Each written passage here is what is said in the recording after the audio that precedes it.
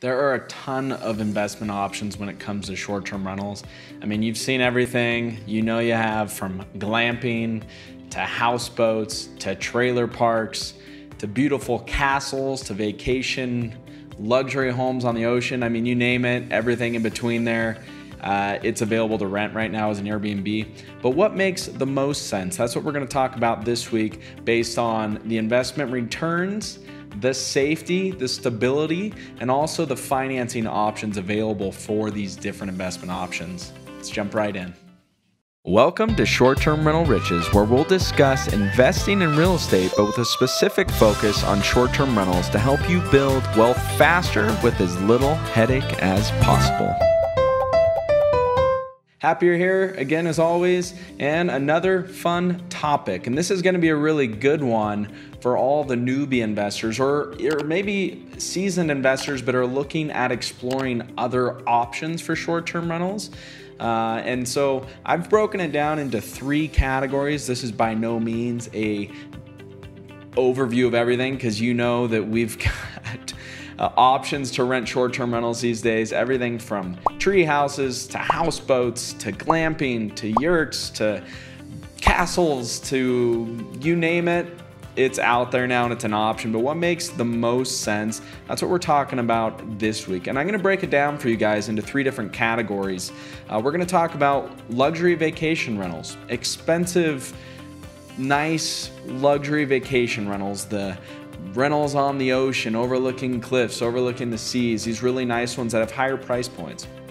Then we're going to talk about this new and dare I say trendy category of short term rentals. And I'm calling these the exotic ones or, or sort of the unique ones. So this is going to be all your tree houses, this is going to be your houseboats, your trailer parks.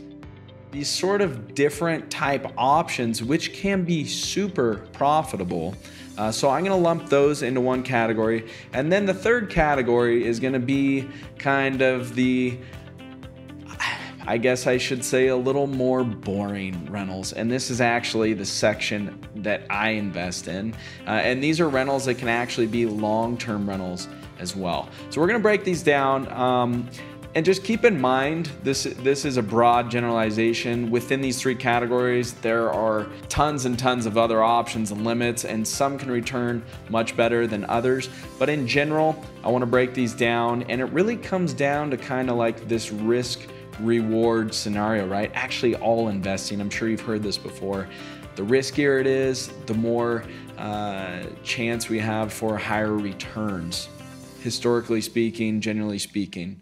Uh, you know, the investing money in bonds, very safe, but it's going to have a very, very low return. So uh, I'm going to break these three categories down with that in mind. So let's just jump into it. The first one here luxury vacation rentals. So these are your amazing beach mansions, these are your uh, lake houses. These are your traditional vacation rentals where people are going for vacation. They're not necessarily uh, living in these properties, they might be far from city centers. So, this is our vacation rental category and i would say you know these are to be these are going to be our highest price point so this is one of the cons. I'll break these down in pros and cons. I would say this is the most expensive out of the three categories, but they also have really high chance for return. A lot of these properties are earning thousands and thousands of dollars a night. So that is the reward side of it. Um, but another con, and again, this is a generalization to this category, is that a lot of these vacation rentals might be more seasonal. So keep that in mind. Is it a really nice cabin up on, at the ski resort that only operates or is only going to be full during the winter season? So this is a little more typical with these vacation rentals. They're going to be a little more seasonal, and we don't want to bank on just these few three months. Or we need to keep in mind that this is where we're making all of our money and something changes, there's a recession, for example, well, is that amount of money going to be enough for us to cover all of our expenses? And in terms of safety, in terms of backup plans, well, I would give this a two out of the three categories. So I'd say it's kind of in the middle. Uh, one is because of the seasonality, but another one is that these are vacation rentals for vacation. Uh, and so if there's a recession, and people have less disposable income, well, then most of the time they go on less vacations, right? Now, if this vacation rental is super luxurious, super exotic, you might be targeting a class of people that recessions don't matter to them. They're wealthy, they've got tons of uh, income streams coming in, and they're still gonna go on vacation. So it depends on where your vacation is at in that scale. In terms of financing, I'm gonna give this a two out of the three categories because there are financing options available for pure vacation rentals based off the income. And there are more and more coming along, but it's not quite as easy as some of the other categories. So break that down. So, okay, and then on the, the pros side, we talked about we can make extremely high nightly rates. That is amazing. I, I, would give that a two, actually, though, out of these three categories in terms of reward based on investment. Uh, and then a really nice thing about vacation rentals, a great pro, is that you can build really good loyalty. You get guests coming back year after year after year, and you can really fill out your schedule in advance. So that's a great, great uh, pro. So let's jump into the next category, and this is this is these are the fun ones, right? These are the exotic, not that the vacation rental ones aren't, but these are like the new ones um, that are popping up.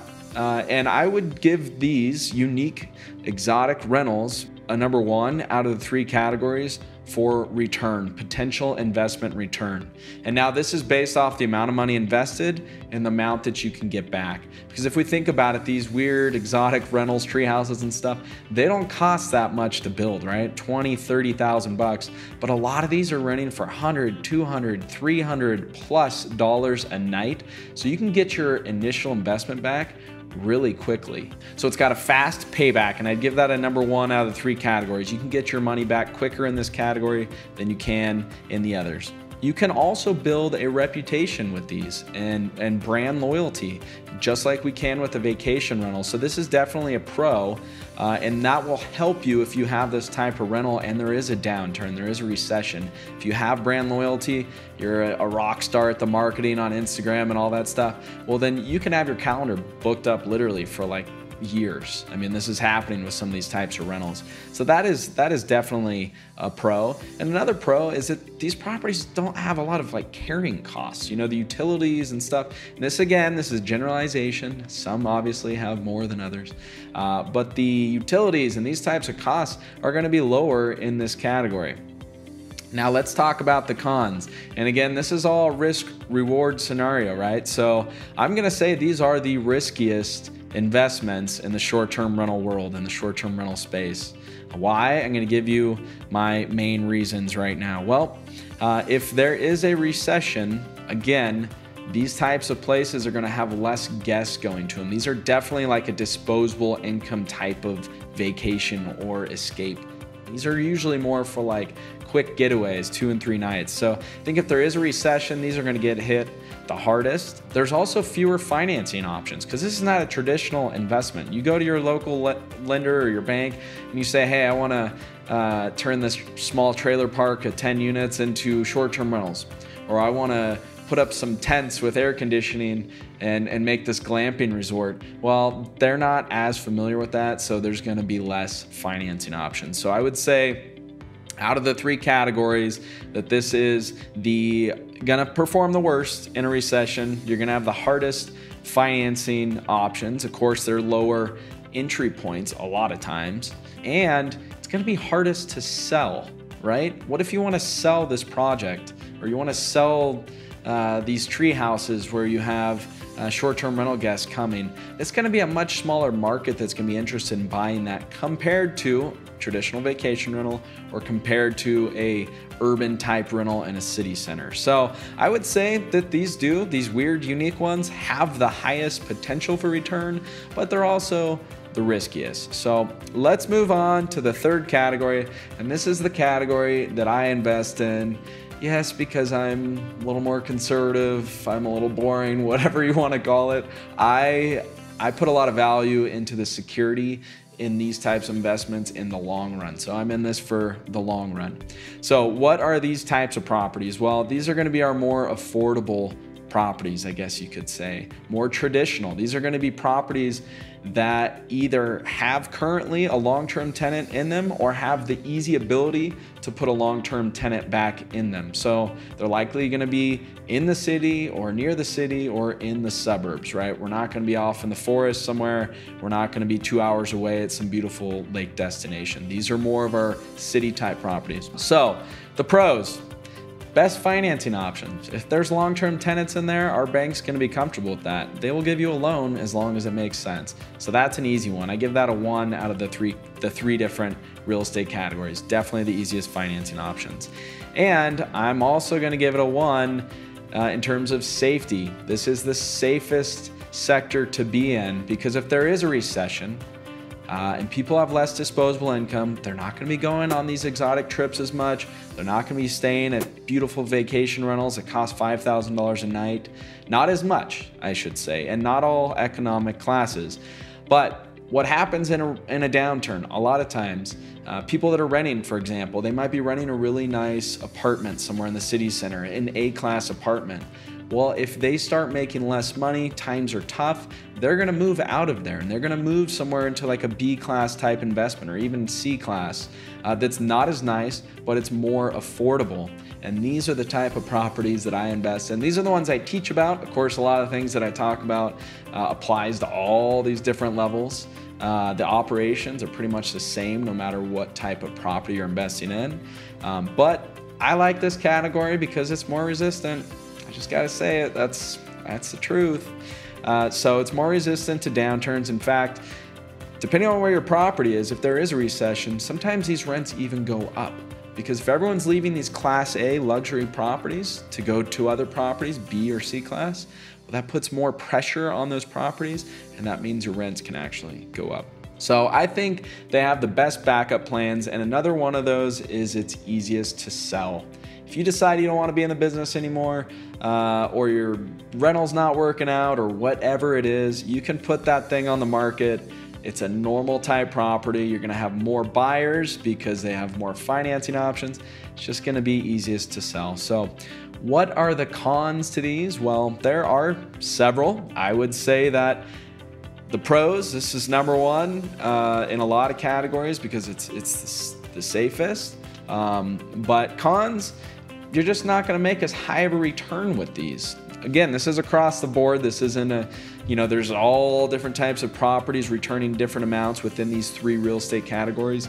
Uh, but in general, these are going to be more like a commodity. These are going to be, you know, there might be a thousand or two thousand in a relatively large city, or, you know, who knows, tens of thousands, but they're not going to be that much different than each other, right? So it's going to be a little harder to build brand loyalty. Uh, of course, you can do that very easily, and, and we do that as well. We get lots of guests returning because they're comfortable staying at our place already. But it's just a little more challenging. It's a little more competitive of a space. It's also easier for someone to enter the market, right? Someone can add uh, rentals down the street from you much easier than they can add a mansion alongside a lake house or you know some place out in the woods or tree houses or, or boats or whatever that is. So it's more prone to, to competition and that affects our returns. It can affect our returns. So, in a nutshell, those are the three categories. We talked about vacation rentals, which are luxury vacation rentals with much higher price points. They can do very well. Uh, and again, I just try to break these into three categories. Within each category, there's lots and lots of different options. But I would give the luxury vacation rentals in terms of safety, and returns, I would give them a two out of the three. So they can have fabulous returns and they're gonna be a little safer. The exotic rentals, these are the tree houses and the, the houseboats and the just the, the weird, unusual type of rentals. I'm gonna give these a number one for having the most potential for return, but on the flip side, I'm gonna give them a three for being the least safe. In a downturn and a recession, the more risk. So they can have the best returns, uh, but they're also the riskiest. And then uh, we've got the affordable rentals or the traditional type short term rentals that maybe had a long term rental in them before or that maybe had a long-term tenant in them before. These are the types of properties I invest in. I would give them a three in terms of return, being the worst in terms of return. But remember, these returns are still much better than if we had long-term tenants in there. A lot of my properties are making three, five, eight times what I was making with a long-term tenant. So even though out of these categories, the potential returns are a little less, it's still much better than long-term rentals. Of course, depends on your property. We talk about that a lot on this channel. So I would say it's three in terms of return, but in terms of safety, I'm gonna give it a one. I'm gonna say it's the safest. There's just more backup plans. You can sell it easier. You got more financing options. It can actually do better sometimes in a recession, just depending on where your properties are. So I hope this helped you guys. Uh, it doesn't mean that you should just be in one category. As long as you're aware of what you're getting into, I think you can have properties in all three of these categories, and it can be really fun, right? So uh, hopefully that gave you a little more insight and your guys' investment journeys are going awesome. Hopefully, they're growing and you're learning a lot. Uh, and until next time, have a wonderful day.